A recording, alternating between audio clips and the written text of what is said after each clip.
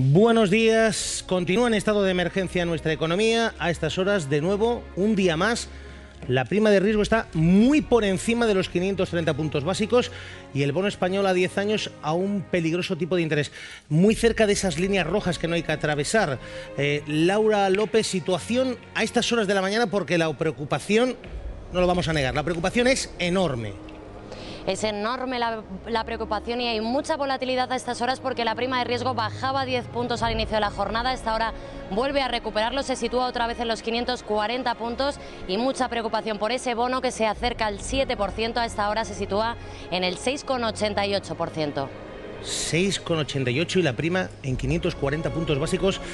Afortunadamente, eh, la bolsa, el IBEX 35, sí tiene mejor cara. Es más, Laura, nos estamos acercando a los 6.800 puntos y eso, pues tal y como está el paisaje Mad Max, el guerrero de la carretera, eso es casi un oasis.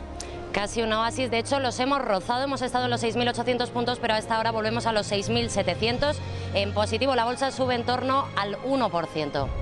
Seguiremos muy, muy pendientes de la evolución de la prima del bono del IBEX 35, situación de emergencia en la economía española, esa es la realidad y también en buena parte de Europa. Dicen que el jefe del Banco Central Europeo, Mario Draghi, ha tranquilizado la mañana anunciando que seguirán inyectando, inyectando liquidez ilimitada a los bancos solventes. A pesar de todo, la situación es de alerta y yo les diría que hasta de pánico nuclear. El propio ministro de Economía, Luis de Guindos, reconocía en las últimas horas que así no podemos seguir, no podemos seguir mucho tiempo.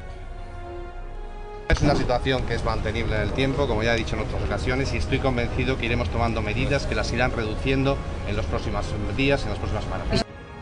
Es más, en Estados Unidos barajan ya que España tenga que acudir a un segundo rescate, es lo que están allí contando los medios de comunicación. La situación es tremenda, estamos ante un tsunami y fíjense cómo es la preocupación y cómo la preocupación llega a todo el mundo. Manolo Escobar hace unas horas recibía un premio y aprovechaba para decirle a la ministra de Sanidad, Anamato, por favor, ministra, que los de mi generación lo están pasando realmente muy mal. Y por cierto, una magnífica noticia que pasan desapercibidas últimamente. La organización radical cercana a ETA, SEGI, se disuelve. Una excelente disolución que hoy avanzan los diarios Gara y Berría.